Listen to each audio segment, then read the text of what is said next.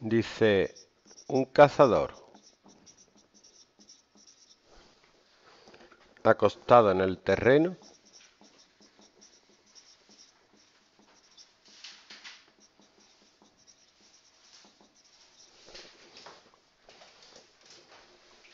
ve una perdiz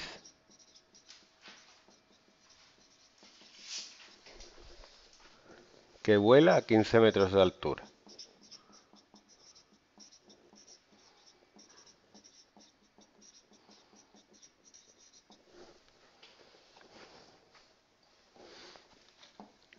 La tiene a 30 metros de distancia. Y te preguntan,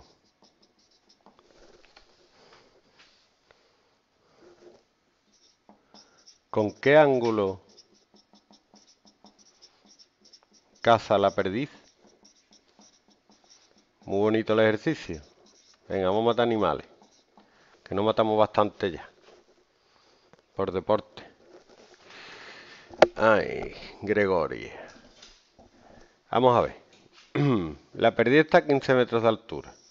¿Vale? Estos son 15 metros y el cazador está a 30. O sea que estos son 30 metros. Y me piden este ángulo. ¿Con qué ángulo tiene que disparar? ¿Cómo puedo sacar el ángulo? Pues fijándome lo que tengo. Tengo el cateto opuesto y la hipotenusa. ¿Qué razón trigonométrica relaciona el cateto opuesto y la hipotenusa? El seno. Pues el seno del ángulo tiene que ser el cateto opuesto 15 partido 30. Eso es 0,5. Y ahora, para sacar el ángulo, tengo que usar la calculadora.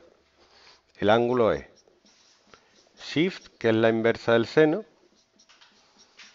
Shift sin 0,5. Eso te da el ángulo cuyo seno es 0,5. Es justo lo contrario.